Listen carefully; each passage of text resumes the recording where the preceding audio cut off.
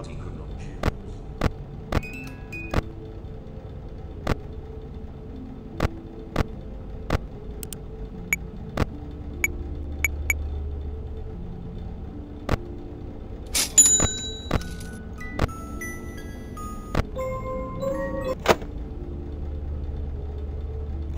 you